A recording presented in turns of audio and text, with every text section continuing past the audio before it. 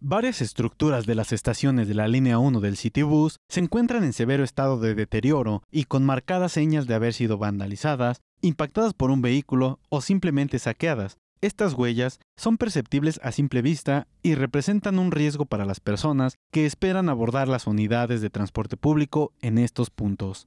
La falta de iluminación, las debilitadas columnas y los techos a punto de colapsar, además de los cables de luz expuestos y colgando, son solo algunos de los aspectos que presentan las estructuras de las estaciones de aquel que un día fue el proyecto de transporte más ambicioso y caro en la historia de Oaxaca.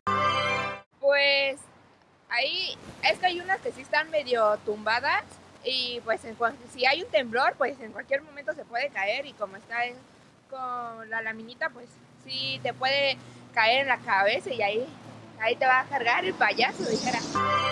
Con el proyecto cancelado y sin una pronta fecha para ponerlo en marcha, cada una de las más de 15 estaciones por las que el Citibus transitaría se encuentran abandonadas y en malas condiciones. Todas han sido grafiteadas y el material eléctrico ha sido robado. Los cristales de las mamparas en las que se exhibirían anuncios publicitarios quedaron hechos pedazos.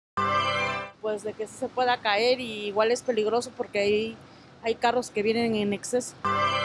Aunado a esta situación, algunas personas que utilizan estas estaciones como paradas para abordar el transporte público señalan que su deterioro se convertiría en un peligro en caso de algún sismo o una ráfaga de viento fuerte, pues se derrumbarían de inmediato. De igual forma, la gente manifestó que estas estructuras sirven para que los delincuentes se oculten antes de perpetrar alguno de sus crímenes. Pues a veces sí da tentación porque si trae uno celular no lo pueden sacar que el ratero nomás está listo a ver qué va, qué va a agarrar. Con imágenes de Pablo Cruz, informó para MBM Televisión, Eric Ríos.